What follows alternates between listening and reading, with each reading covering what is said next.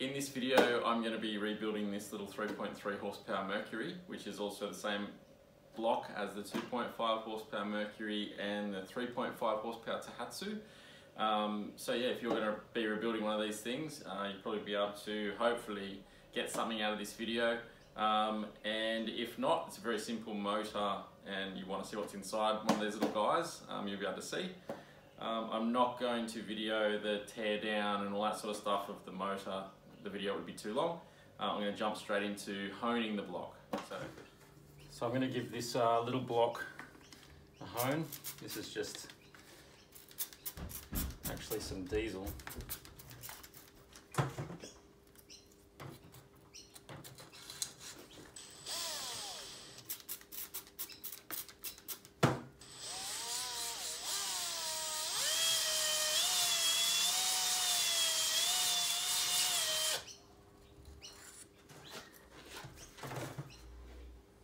Awesome.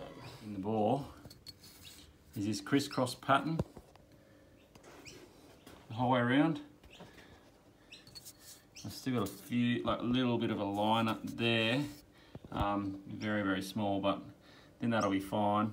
Just gonna um, sand the end of this flat. That's the head from the 3.3 horsepower.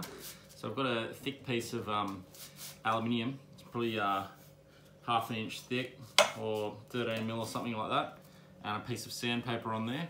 Uh, I just really want to get that flat. So I just, yeah, rub it on that flat surface. You can start to see, yeah, flattening out the high spots. I've just degreased the whole block here and the, um, the head.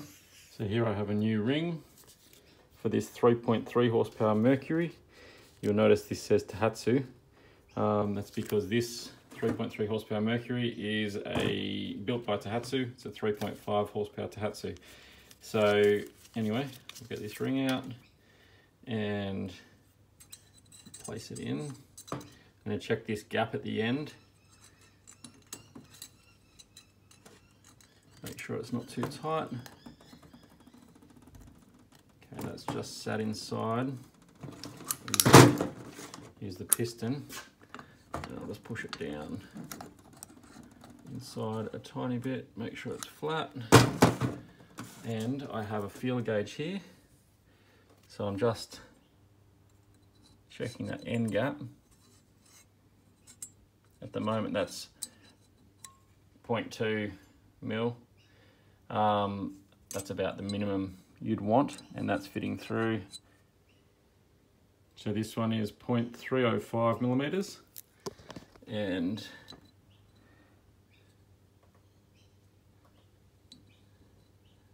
that is just touching each side of that ring gap. So that's fine. When the motor runs, this obviously expands and you don't want this little gap in here to touch and then for this ring to sort of expand and get locked in there. It's only tiny, isn't it? But anyway, you want to get locked in there and seize your motor. Another thing you'll notice with this um, ring groove in this piston is there's a tiny little locating pin at the top there and I'll show you on the ring they have yeah a little section for that so you got to make sure you put it in the right way up so that those notches basically sit around around that pin, locating pin, like that. So obviously when that's in the piston bore, those will close up and be pretty close around that little locating pin. So I've just put um your two-stroke oil around that ring, inside the bore, on all my bearings. So yeah, this one just pushes in from the back and there's a little um, chamfer on the bore which helps the ring just sort of pop in. So just wiggle it and it should pop in. There we go. Too easy. And these um these bearings have a pin which sit in these grooves.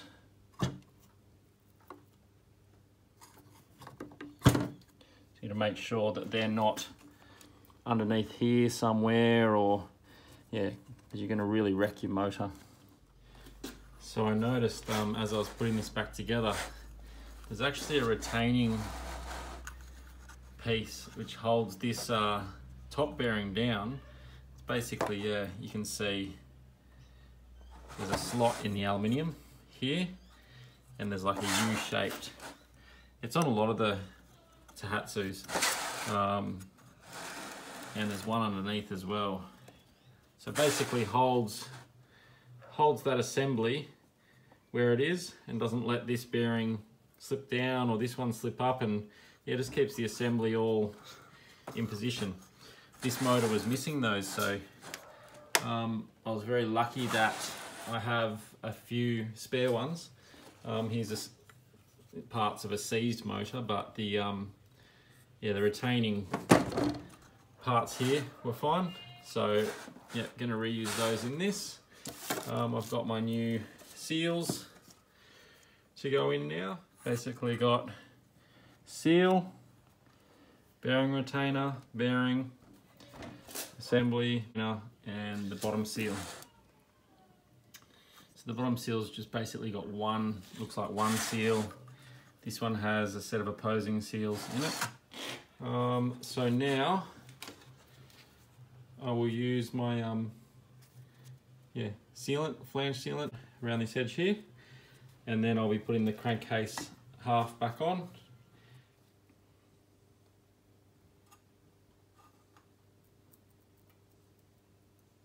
that's about it. also, these are the reed valves in here. So they, yeah, you can test that. You should be able to blow one way and not suck. So yeah, they basically just let air into the crankcase and uh, not back out. That's what this stuff looks like. Just a very, very thin layer of um, crankcase sealant. This has locating pins so that'll sit exactly where it needs to. Cool. Yeah, so I've just, just gently nipped all those down. They're not tight at all. And I'm just going to make sure I'm happy with where these uh, seals are sitting. Make sure they're not twisted, bottom or top. So yeah, they're, they're sitting very square to where they should be sitting. Very good. So I'll just tighten them by hand now. Pull those crankcase halves together.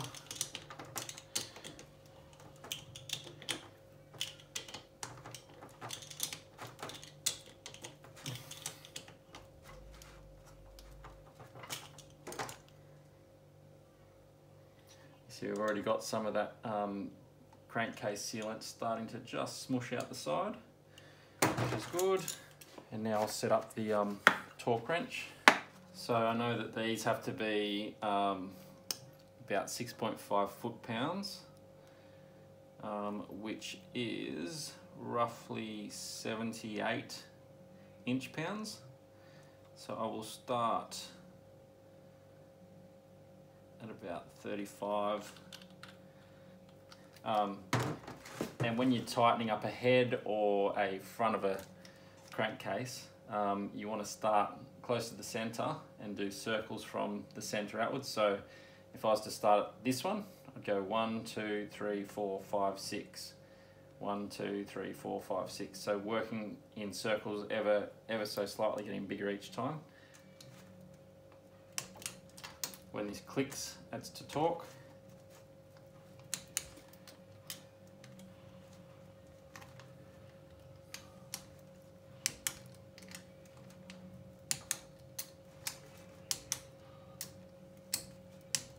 Yeah, so they're all now 55 inch pounds. Now 55, 70, 78, and that will do. and you can see just that little bit of crankcase sealant just smushing out the edges. right the way around. So that's good. Awesome. Chuck the flywheel on at this point and make sure it turns over freely.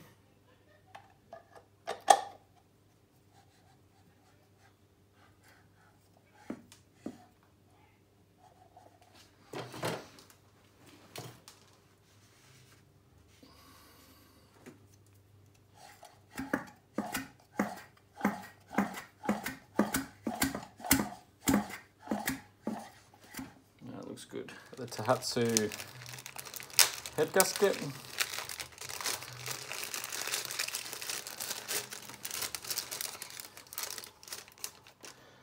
You don't need to see it, put sealant on this. Um, you can see it's already got, oh you can feel it too, some sort of sealant on there. Um, so that just, yeah, make sure that's clean. That goes on the right way around. Head goes on.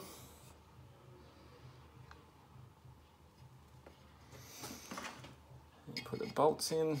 I've put a little bit of grease on these ones.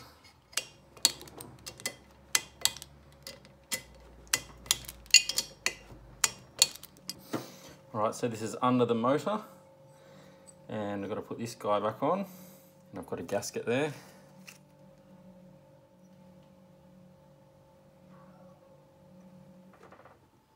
Just firm. All right, can I whack the coil back in?